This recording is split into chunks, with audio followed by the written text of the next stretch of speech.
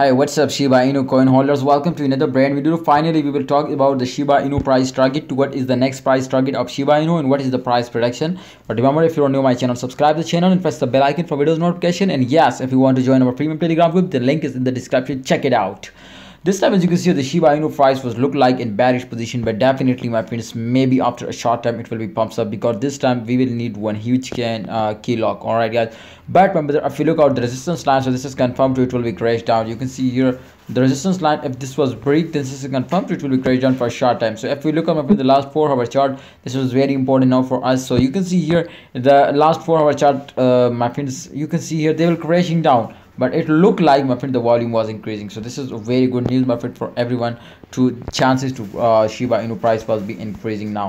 Otherwise if you look at my this time the uh, update so you can see here the volume was increasing this is very good. Now the market cap is also increasing but in last seven days also they will change a positive but in last 24 hour the shiba inu price was declining so don't worry i'm sure to after a short time they will be also recovered and they will be get a very good profit.